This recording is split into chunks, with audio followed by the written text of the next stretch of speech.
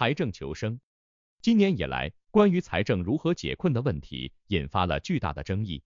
国师派的经济大师们声称，必须考虑财政赤字货币化的路线了，也就是由央行直接凭空印钞购买国债及地方债券。而学院派的教授们则坚决反对，他们的理由是，以国债作为印钞之锚，乃是亡国之兆。一九四八年的金圆券崩塌就是前车之鉴。在这场争论的背后，隐藏着的真相，乃是我大中国的财政赤字在近年来的剧烈膨胀。乃至到了几乎无法直视的地步。下面是财政的发布的近年来的全口径财政收支表。财政求生。二零一零年，我国财政赤字规模不大，仅为三千九百三十八亿元人民币，占全口径财政收入的比值仅为百分之三点三。此后，财政赤字规模迅速放大，到二零一九年上升到五万五千三百四十一亿人民币，占财政总收入的比值提升到百分之二十点一。这已经相当厉害了，想想财政收支的缺口已经超过了两成，必须要靠借债来填窟窿，简直让人难以理解。如果这事放到欧美国家，还勉强能够解释，毕竟人家有着巨大的社会福利负担，尤其是西欧那些腐朽的超福利国家，老百姓每天躺在家里吃失业救济，一个月也能领一千多欧元的福利补贴。所谓的精英白领，每天工作三小时就喊累。需要一周休四天假才能恢复过来。对比我国那些日常九九六、零零七的写字楼民工，我大中国政府搞出如此大比例的财政赤字，简直就是匪夷所思。你要说为啥我大中国居然有如此庞大的财政负担，这事要解释起来不容易。首先，我国是个负福利国家，这一点毋庸置疑，正常人都非常理解。财政负担可不会落在普通老百姓的社会福利上。我个人的理解，我国的财政负担主要体现在两点：第一是政府的投资负担过重。与欧美各国不同的是，我国各级政府在本质上其实是个公司，发展经济是其第一职能。民间企业投资意愿不强的时候，各级政府就必须亲自下场拉动投资，这是其无法推卸的天然义务。在数据上，二零一零年我国财政预算内资金用于固定资产投资的资金规模仅为一点三万亿，到二零一八年上升到三点九万亿，足足上升了三倍。单就二零一八年而言，财政固投资金占总收入的比值就达到百分之十五。二零一九年之后，我国不再公布财政资金用于固定资产投资的具体数额，不过想来占比也不会低到哪里去。二零二零年，我国财政大力推进新基建计划，想来占比还会继续上升。另一个重要的负担项是对离退休公务员的补贴。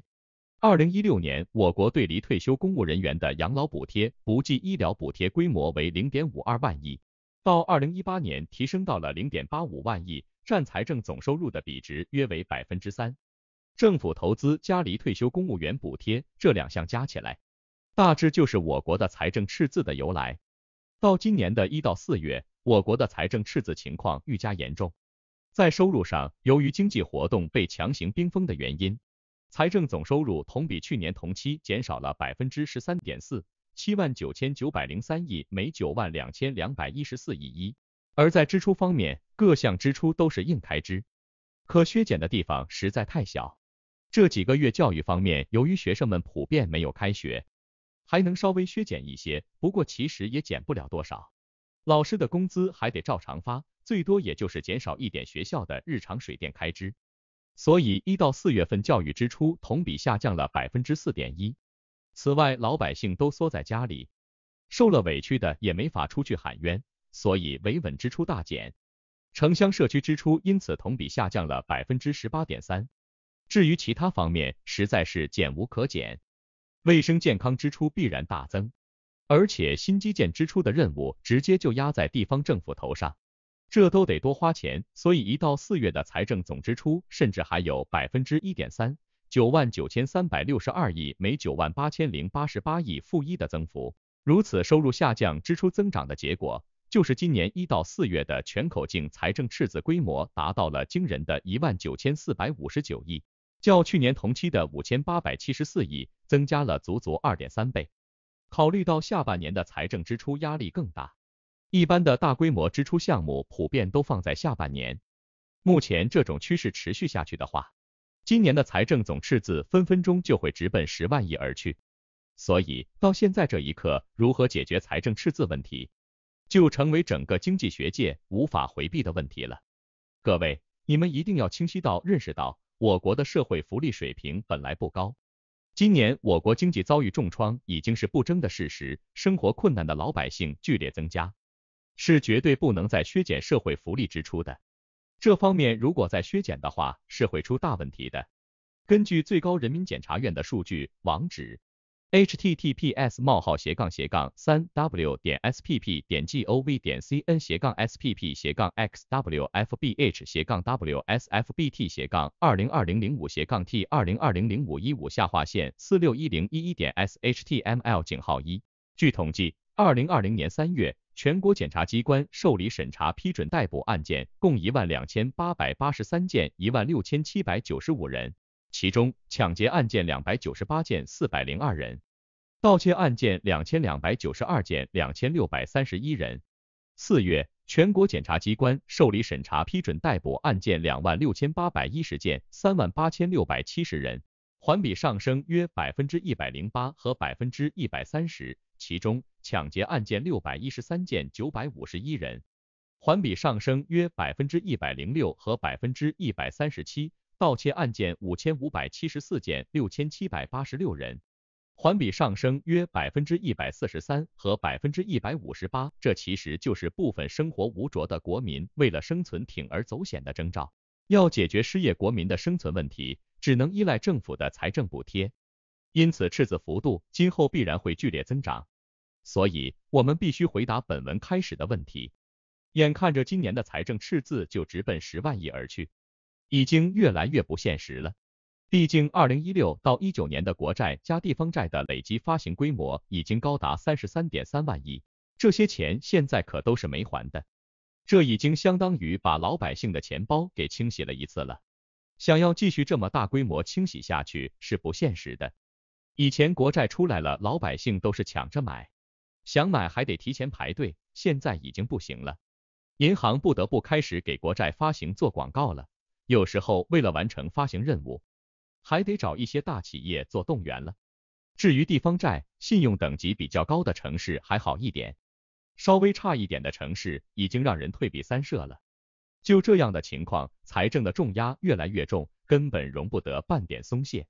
想要继续增发各类政府债券，就必须解决政府的信用问题。由谁来给地方政府授信？我国现在的玩法是由财政部统一规定国债的发行计划。以及各地政府的地方债发行额度，这明显是缺乏信用支撑的。财政部自己给自己授信，这简直就是瞎扯淡。在这个问题上，我们必须参考国外的一般做法，由人大给政府债务授信。